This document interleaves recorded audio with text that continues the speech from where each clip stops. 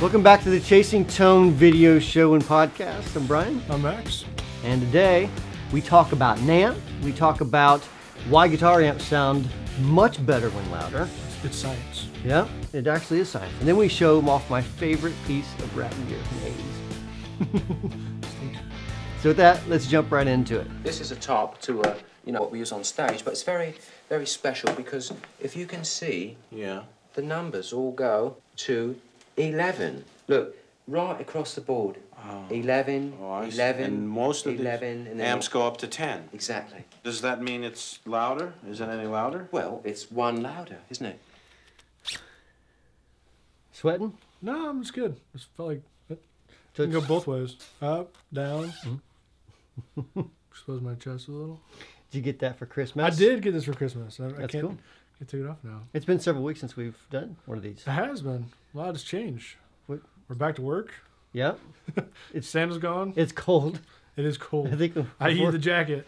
before Christmas it was like 65 here. I've actually been out out in your barn, out of the out of the door into your barn all Mm-hmm. day, preparing stuff for NAMM. I've been like, we have this uh with that big kerosene heater, so it's either like 150 degrees, Mm-hmm. like sweating, or it's like we had to turn it off and it instantly gets cold because the whole building's like metal, right? metal and concrete. So you're like, or you're just like rolling sweat.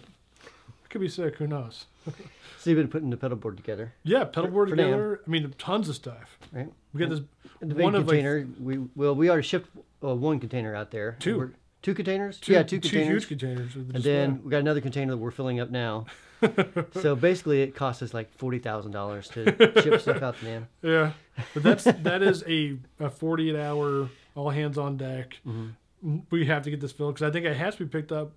Today is uh, Tuesday. It has to be picked up by like Friday or Monday at the at the latest. Mm-hmm. Right, and it's like last minute sort of thing. So yeah, this is all That's the great. important stuff like pedals. yeah, so we can run out there and check it if you want to. Yeah, sure. Let's go. Let's go see what you're working on.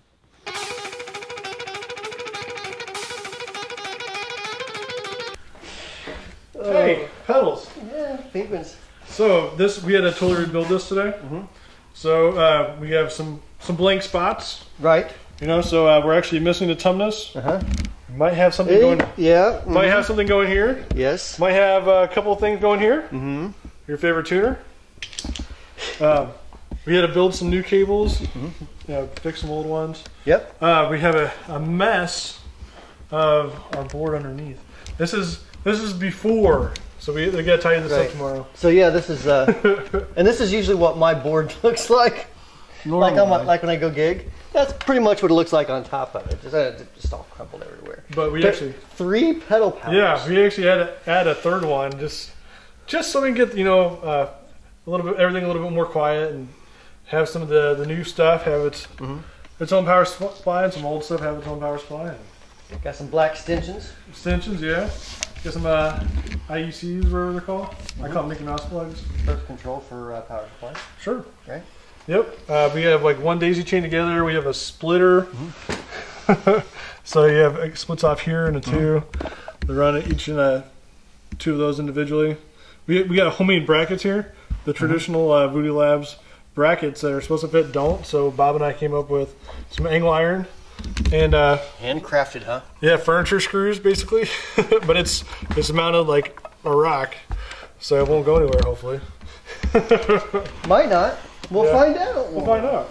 Yeah. Other than the. Uh, So why this pedal order? So what we basically did was uh, we wanted always want to run your buffer 1st Uh, that's important. The tumnus, which we're uh, actually I think we were playing it earlier in the studio, so that's why it's not on the board. Uh, I can't tell you. Well, I, you know, but I can't tell you, Right, right, right. you guys, why we're putting this pedal here. But you'll find out soon enough. Okay. Um, and then like these are on our website. We have kind of the essentials. Uh, you know, we'll have the the DB plus and the Ego compressor. You had to have the compressor. Then from here, we decided. Um, I put the Euphoria and Paisley together. Uh, this is actually our signature series all the way across, but the Euphoria and Paisley, just so when we're doing demos, I can show how these stack up against the uh, channel one and two of the dual of the dual fusion. So I can kind of show people what these sound like. Then I can cross reference these. Hot wire, obviously, because it's in signature. And And then we start doing all our uh, amp in the box type stuffs. Okay. So we'll go Pinnacle Standard, Right. Pinnacle Deluxe. Right. Gotta have both. I mean, they're similar. They're actually identical, pretty much. Yep. But you gotta have it. and You got your slow, get your Triple Wreck. The Velvet's not an amp in a box, but it's kind of a heavier pedal, so I kind of throw it in there to Mm-hmm. show. Uh, the Triple Wreck can actually fuzz up, so I kind of compare those sometimes. Right. Right. Uh, the Sovereign's it's a great gain stage, kind of like a second channel on your amp. Mm-hmm. Then your plexi drives, obviously. Then we jump up our signal chain all the way up to 30 something. That's our uh, Vox in a box, or, or Vox ish. Vox ish. Ish, yeah. Vox ish in a box. Uh, our Clarksdale, uh, that, which is, uh, Tube Screamer goes to every amp, so you got Right. to put it there. Right. Right. Uh, your Catapulp, your 257. Uh, the low blow, just because uh, we don't have enough pedals in our baseline yet to accommodate an entire board. Right. That's coming. Then we start getting into our, our uh, tremolos. After that, we go into the faux analog echo. Then we jump up here to our faux spring reverb, and then our faux tape echo. And then we'll jump into a couple other new things. Oh, they're not there yet, but they will be. and then Brian's favorite tuner of all time at the very end. I like TC Electronic stuff. I'm just not a fan of, like, that's not my favorite tuner. You know, It's because it's not a strobe. I like the strobes. That's why I didn't get anything for Christmas. That's, that's true. That because I was a bad boy, so Yeah. I'm not on the list. Yeah, but yeah. So this Okay, this so is the board as of right now. Right. Okay. So Cool, man. it's a lot to do. And then uh, we got that big crate. It's as tall Yes. as you. this is how we get things done with the hammer. This is how you get. We're Doesn't basically fit. putting a chair in here, and this is how you're getting down there. Yeah, that's that's not how I'm getting down there. but yeah, this Says you. so, so you, I'm not paying for you to sit and coach like highfalutin. Now there looks like there's a lot of space in here, but it will literally be packed to the gills. Yeah. right before we come out. We have tubs. We have uh, actually uh, me and Bob Hubert, the guy that's been huge in getting all stuff together And me, build a pedal board. and built a pedal board. Hubert pedal boards. Check them out. Um, but him and I actually have a running bet with our office manager. If we can get everything done in the next like two days, she's buying us lunch, and I don't miss a free lunch. So we will have everything done before we get there. Is it going to have cloth napkins at said lunch? Oh yeah, I told her steak, which probably means Burger King, but I'll, it's free, so I'll, I'll settle. Steak and shake. steak and shake. You know, get one or the other, can't both. Uh, yeah, this is just like just part of it. I mean, there's a whole lot of wheat. Uh, the wonderful Jason Wilding will be coming out with us from the UK. His he actually just had back surgery. He's not gonna be able to lift anything. I think Alex is coming out the day after we set up. So guess who gets to lift all this crap? this guy.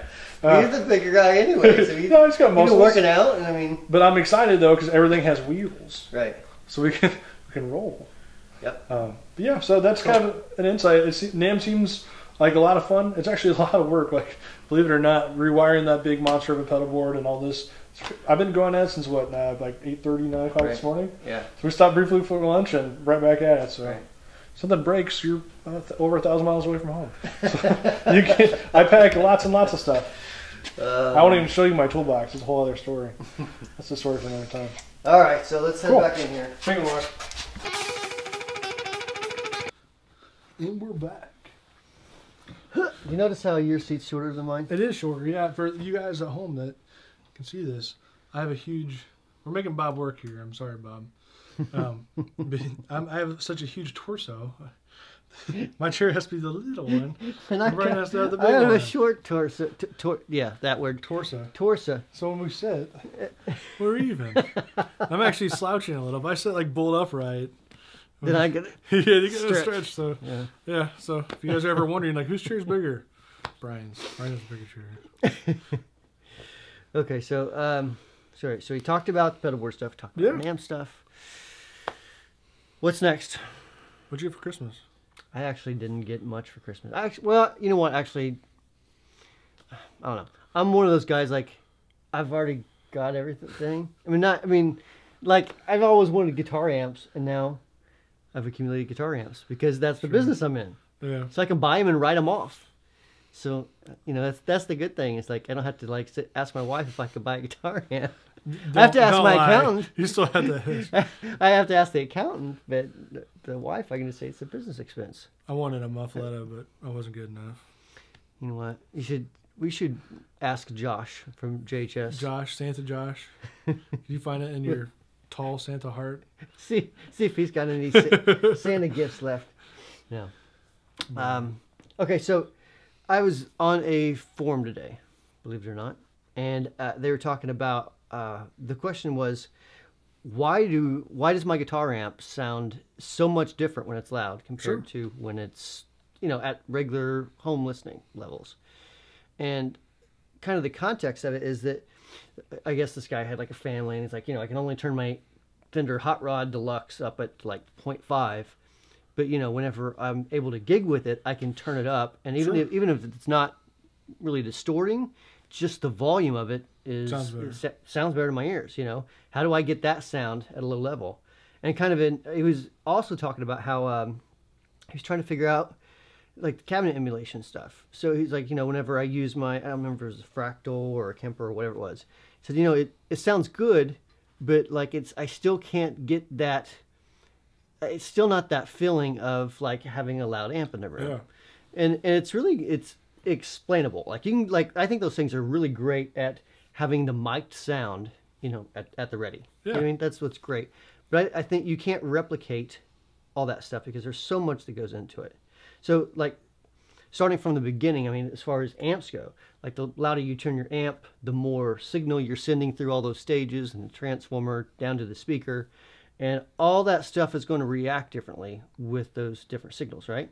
Even uh, the speaker is going to react differently with more volume.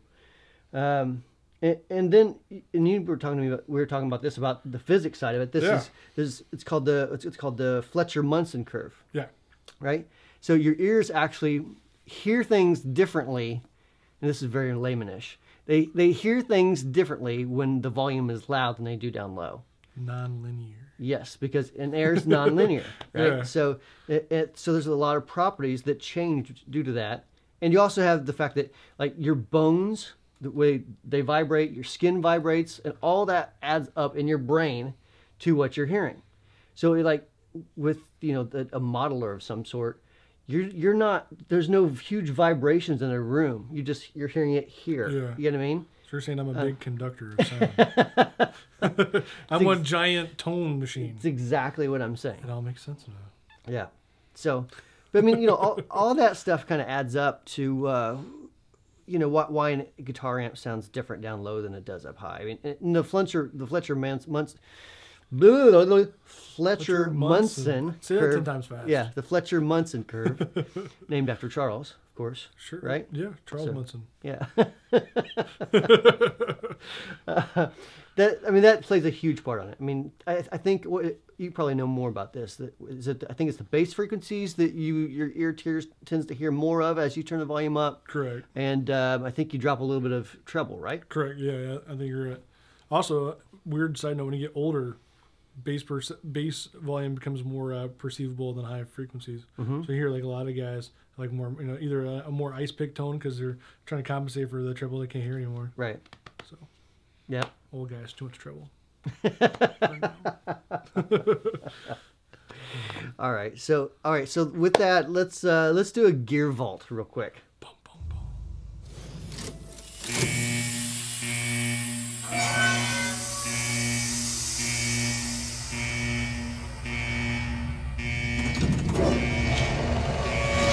So this is my ADA MP1.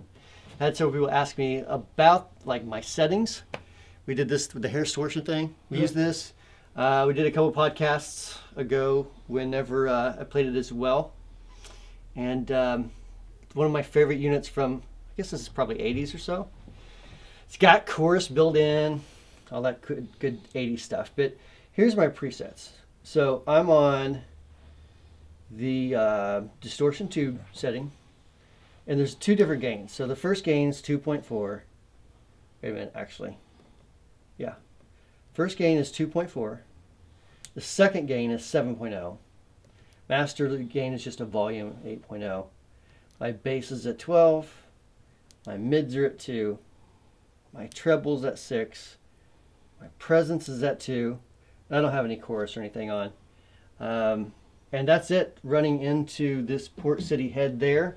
Just running right into the SIN, just using the power amp into this Marshall cabinet. This has WGS greenback speakers. I got it mic'd with a 57 right next to my Stormtrooper microphone. So, yeah, that's it. That's my settings. That's what I like. And I'll play a little ditty real quick. Right, so obviously there's a bit of hum right now. What? A little bit of hum. What? It's a little loud, but still, uh, it sounds better when loud, as we last talked. It's true. Everything does. So Tell my wife that. yeah, so with so with those settings, this is the hair distortion tone.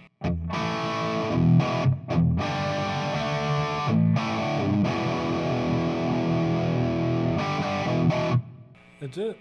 You know, I love that sound. It's No, a- no fan though. No tights. No sock sock stuffing. well, I got that. That's all natural. you know, you know what I'm saying? Baby, baby socks. that's funny, baby socks. Huh? Uh, but yeah, that's it. Yeah. That's your vault. Boom. So, how, what do you think about your vault? It's cool. Uh, ADA was cool. We had actually talked about a lot of stuff. NAMM, physics, old ancient 1980s equipment Brian had in high school, and, the, a bet I have of the manager. Exactly.